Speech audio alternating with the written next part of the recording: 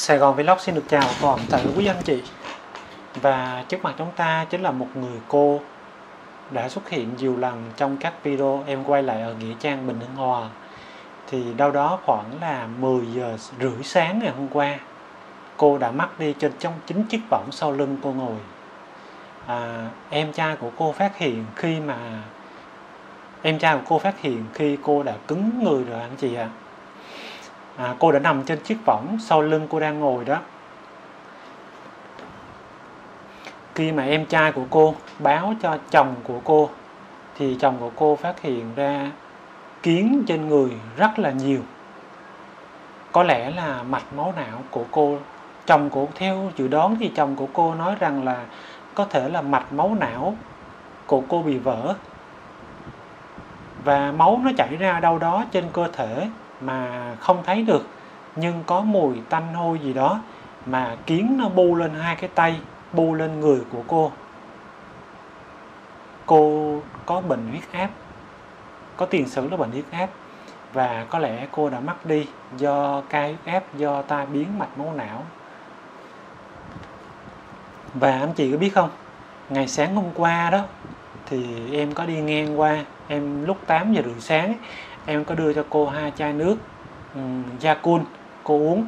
Lúc đó do trong quán cho trong cái chỗ này có ba bốn người đang ngồi cho nên là em cũng đi luôn. Em đi ra phía sau nghĩa trang bình hưng hòa em tập bay playcam. Và nửa tiếng sau em quay lại hỏi cô uống nước ngon không? Cô nói ngon và cô cháu có ngồi nói chuyện với nhau nửa tiếng đồng hồ. Và ba bốn ngày thì có gặp nhau một lần, một một lần gặp nhau thì khoảng tiếng tiếng rưỡi. Do một lần quay lại đây thì em quay 3 video, mỗi video thì nghỉ nửa tiếng. Như vậy là tổng cộng mỗi lần qua đây quay thì ngồi nói chuyện với nhau nửa tiếng. Và mỗi khi đi làm thì em cũng ghé vào đây uống nước, vân vân, bởi vì cô rất là buồn. Cô chỉ có một đứa con gái, nhưng mà đứa con gái cũng lâu rồi. Một năm về thăm cô có một lần đến hai lần.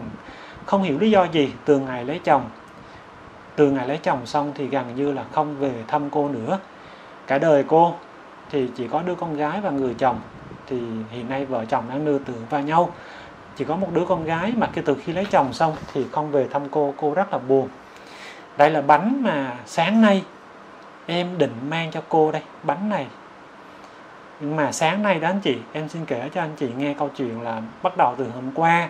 Thì sáng hôm qua đó, em có ghé vào đưa cô hai chai nước và khoảng 10 giờ khoảng 9 rưỡi thì em có ghé và hỏi thăm cô.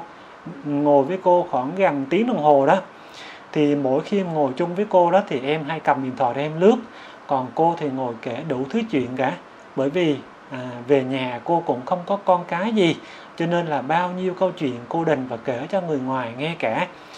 Thì ngồi lại bây giờ thì ngồi nghĩ là em thấy mình cũng hơi vô tâm không tập trung vào câu chuyện cô kể cho lắm ngồi cả nửa tiếng đồng hồ nhưng mà phần lớn thì em cầm điện thoại em lướt và tai thì vẫn nghe cô nói chuyện. Và em vẫn ngửa mặt lên đặt câu hỏi và cho ý kiến với những câu chuyện cô nói ra. Và câu chuyện rất là dài em chị. Chính ngồi khoảng 10 giờ em đi thì 10 rưỡi á, là em trai của cô phát hiện ra là cô đã mắc chân võng. Và có lẽ là cô đã à, té đâu đó phía dưới và mệt quá cô lên treo võng cô nằm và cô mắc luôn trên chiếc võng. Và sáng hôm nay em có mang cho cô mấy cái bánh nhưng mà rất lạ là khi em tới em thấy đôi dép nè rồi thấy cái võng nằm bên ngoài và thấy một cái bông bông đặt để phía dưới. Uhm, rất là bất ngờ nhưng mà em nghĩ là ồ, chắc là do hôm nay cô nghỉ nè. Và em có lấy cái bọng đó em nhét vô võng vô vô cái giỏ cho cô và em đi thôi mà ai ngờ chiều hôm nay quay lại thì em phát hiện em mới thấy được rằng chồng cô, con cô và người thân của cô đã cùng với thầy cúng tới đây, cúng để rước linh hồn cô về.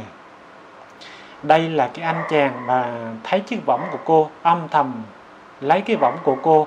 Và chiều nay được nghe em kể lại câu chuyện thì ảnh mới hoảng hốt ra ảnh mới thật lòng ảnh nói là cái võng này em là người lấy và bỏ trong bao. Ảnh mới lôi chiếc võng trong bao ra, ảnh đốt và thắp nhang cho cô. Rất là tội anh chị. Và rất là tội luôn. Mấy cái bánh mà em vừa lấy ra là đường sáng nay mang cho cô. Ghé qua thì ờ, không thấy cô đâu nữa. Mà cứ nghĩ hôm nay cô bận việc gì thôi. Thật sự là khi nãy em có quay một video anh chị nhưng mà trong lúc thầy cúng trong lúc con người thân tới em quay một video và sau khi thì mọi người về hết thì em phát hiện ra video này mình bấm không có bấm nút anh chị không bấm nút quay. Cho nên bây giờ mọi người về hết rồi em mới quay lại video này đây. Chỉ còn em với người đàn ông này. À, đây là cái ghế mà em đã làm cho cô đây. Cái ghế và cái tấm ván em là người tự tay làm mình làm cho cô chỉ có chiếc võng là cô tự mua thôi. Đây chiếc ghế và tấm ván à, nói về câu chuyện chiếc ghế này hàng đêm đó anh chị hàng đêm. À, cái công trình xây dựng thực này chỉ là thực hiện vào ban đêm thôi. Chỉ tiến hành làm vào ban đêm công trình xây dựng con đường tăng kỳ tăng quý chỉ làm ban đêm thôi. Và cái chị thầu cái, cái cái gói thầu này đó chị mới nói rằng là ban đêm chị thấy một người đàn ông à, linh hồn của một người đàn ông ngồi đây chị đi ngang qua chị thấy, đi 10 mét chị quảnh lại chị không thấy. Và cái hôm thì chị thấy, cái hôm thì người làm của chị thấy. Cứ luôn phiên nhau như vậy, rồi cái câu chuyện này thật sự là có thật. Cho nên từ trước đến giờ cô đã bắt đầu hàng ngày cô có cúng cho người đàn ông này anh chị. Ngày nào cũng thắp nhang và lâu lâu có cúng bông và trái cây cho người đàn ông này. Và em cũng biết và em cũng không có sợ gì cả, cũng ngồi chính chiếc ghế này đây. Một người đàn ông hàng đêm linh hồn của họ ngồi trên chiếc ghế này. Gần như là công nhân ở đây, ai cũng thấy cả anh chị. Công nhân cái công trình xây dựng ngổn ngang này nè, rất rất là nhiều người thấy, nhưng mà nó trở thành một cái chuyện bình thường rồi luôn anh chị. Cái công trình này xây dựng gần xong rồi, chỉ còn vướng khoảng chín căn nhà nữa thôi là đã xong cái phần là cống rãnh ở đây rồi anh chị. Nhưng mà chín căn nhà, ngay chỗ gần lò thiêu đó anh chị, họ chưa xây dựng xong, họ chưa trả mặt bằng, cho nên là cái đoạn một cái đống này nó chưa được đưa tới vị trí đó để thi công cho nên còn đây anh chị uhm, cái đống cho này cái đống cho này ok chúng ta tiếp tục cái câu chuyện nha. Người đàn ông này lúc này họ mới hoảng hốt anh chị. Lấy tất cả của thứ những thứ mà anh lệnh của cô sáng nay ra mang ra đốt anh chị à ok và cô đã ra đi rất thanh thản. Mình nhìn thấy thanh thản anh chị trước khi ra đi cô rất là buồn và cô có nói rằng sau này cô ra đi cô cũng mong rằng à, mình sẽ được là thủy tán. Tức là sau khi thiêu xong cho cho cho của cô sẽ được à, quăng ra sông chạy theo dòng nước đi khắp muôn nơi chứ không muốn làm gánh nặng cho ai nữa. Bởi vì cô có một đứa con gái thôi nhưng con gái của cô không về thăm cô một năm chỉ về một lần thôi. Vâng như vậy là đối với cô, ăn uống tiền bạc hoàn toàn là không có ý nghĩa gì nữa. Ý nghĩa lớn nhất đó chính là mong được gặp đứa cháu và người con của mình, nhưng không hiểu vì tình cảm giữa hai vợ chồng. Đứa con có vấn đề gì mà không dẫn cháu về thăm cô và cũng không về thăm cô luôn. Chỉ có một ngày Tết là về thăm một lần thôi, cô rất là buồn. Thì không riêng về em, chắc cũng nhiều người tới đây lắng nghe và được nghe câu chuyện của cô và hôm nay cô ra đi. Và ra đi rất là đột xuất luôn anh chị. Và khi cô mắc thì chỉ có ba người. Thứ nhất là cái trại hòm, thứ hai chồng của cô đưa cô lên xe và đưa thẳng về trại hòm. Hiện nay cô đang nằm ở trại hòm và ngày mai sẽ được đi thiêu và ngày đưa gửi vào chùa. Thì một, hai năm gì đó thì cô sẽ được ờ, thủy tán về sông, về biển. Ok, thì nhân tiện này em xin kể một cái vài câu chuyện một vài câu chuyện xung quanh cái khu này đi ha. Cho video nó nó dài hơn chút xíu. Ok bên cái khu này anh chị bên cái khu này ha. Khu này trước đi. Cái khu này lúc trước thì có một cái, cái có một cái đôi trước khi chuẩn bị cái lúc mà chuẩn bị à, bóc mộ cái khu này anh chị có một cái đôi vợ chồng là người khuyết tật lên thăm mộ người thân của mình lên thăm mộ người thân của mình. Nhưng hôm đó trời mưa là lý do thứ nhất. Thứ hai là cái lý do cái ngôi mộ bị một cái nhánh cây rớt xuống cho nên là khó là tìm. Cộng với rất là nhiều mộ lúc đó là chưa bóc mộ mà anh chị. Cho nên là mọi người cùng tìm và cuối cùng cũng tìm ra. Và cuối cùng cô cô chú khuyết tật đó đó, anh chị khuyết tật đó cũng viếng được ngôi mộ này, ngôi mộ người thân của mình. Và trên đường về trong cái đêm, trong cái buổi chiều mưa tầm tã đó thì anh chị đó bị tai nạn và cũng bị mất đi. Rất là thương tâm anh chị. Và cũng ngay cái vị trí này luôn, có một cái mộ, người ta nói mộ đôi là hai đứa bạn, hai đứa bạn gái cùng rủ nhau đi chơi thì không may hai đứa bạn này cùng bị tai nạn và mất đi.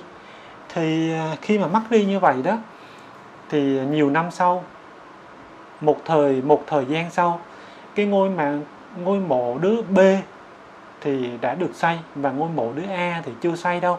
Và cái con bé A đó hiện hồn về, nói với mẹ của mình à nhà của con đó lạnh lắm mẹ ơi.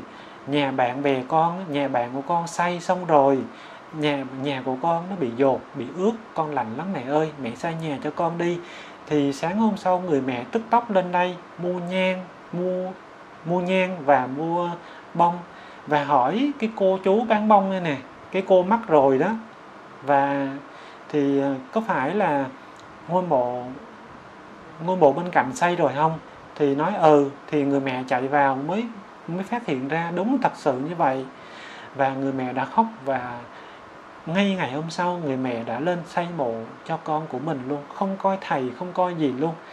Tức tốc ngày hôm sau là xây luôn ngôi mộ cho con của mình đó là câu chuyện thứ hai và câu chuyện thứ ba trước mặt chúng ta chính là cái khu à, đường hàng rào ngăn cách giữa nghĩa trang và lò thiêu bình hưng hòa anh chị ạ à.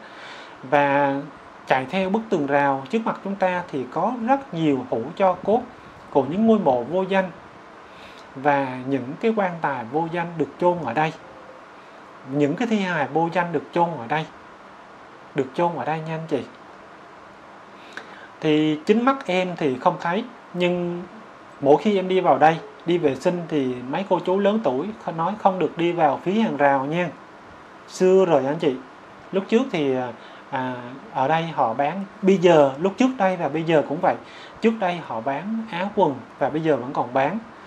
Và trước khi em quen cô chú này cũng vậy mỗi khi đi ngang mà đi mua áo quần đó em ra sau đi vệ sinh thì cô chú mới nói không được đi vệ sinh sát hàng rào và bây giờ vẫn như vậy anh chị, bởi vì sát hàng rào có rất là nhiều, có rất là nhiều mộ vô danh đã bị chôn vùi dưới đó và có hũ cho cốt vô danh đã nằm lại đây hiện nay và mãi mãi nằm lại đây. Bởi vì mộ vô danh mà, không có đi, không có gì cả, không ai biết ở đâu mà đào lên, không ai biết cả anh chị. Mộ vô danh lâu ngày cũng bị hủy thôi. Bởi vì một cái nấm mộ và những cái hũ cho cốt mà nó sẽ bị phân hủy theo thời gian thôi bây giờ không trách được ai cả. Đã bị nằm lại trên bức tường ra đó rất là nhiều. Ừ, bởi vì thời lượng video cũng có hạn thôi. Em xin kể ngắn gọn như vậy và nếu có lần sau quay trở lại đây thì em cũng xin kể thêm những câu chuyện khác về những cái mắt những cái câu chuyện về nghĩa trang bình hưng hòa mà trong rất nhiều video rồi em chưa kể hết ok, đây là vị trí mà người cô họ đã cắt những cái thứ, những cái chai nước mỗi khi về anh chị. Mỗi khi chiều về là cô cắt lại ở đây là những cái bó nhang của cô bán, những bình bông mà cô bán là cô để lại ở đây hết đây. Chỉ có là nước những cái ờ, chai nước là cô đẩy vào. Những cái chai nước rồi những cái gì có giá trị là cô đẩy vào trong lò thiêu cô gửi. Mọi thứ là nằm lại ở đây, để lại ở đây. Và cô đã ra đi. Ngày hôm qua, đâu đó thực khoảng là 10 giờ hơn đến 11 rưỡi. Cô đã mất lúc đó anh chị. Em lúc mà em đi là khoảng 10 giờ và lúc cô mắc đâu đó là lúc 10 rưỡi và trong khoảng thời gian đó anh chị. Và khi mắc thì chồng của cô thì tới phát hiện và đưa xác về thôi cũng không có làm gì cả. Bởi vì biết vợ của mình có cái lịch sử là tai huyết áp cao vậy giá cao thì cũng dẫn dễ dẫn tới những cái bệnh những những cái tai biến rồi anh chị. Cho nên là người chồng cũng đưa về và tổng điểm cho vợ để mai à, mai và mang thiêu vào chôn và đưa vợ của mình vào chùa thôi. Rồi câu chuyện tới đây còn đã dài. Xin chân thành cảm ơn chị đã theo dõi video ha.